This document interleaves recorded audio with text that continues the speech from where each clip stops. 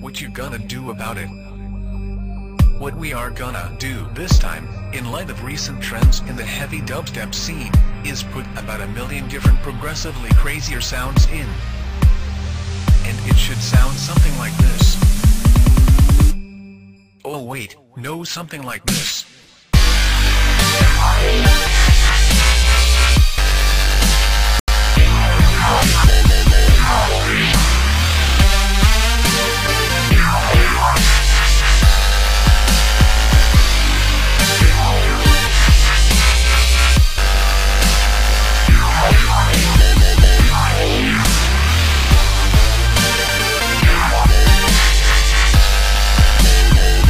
Instead of a beat down section, why not try messing with double time?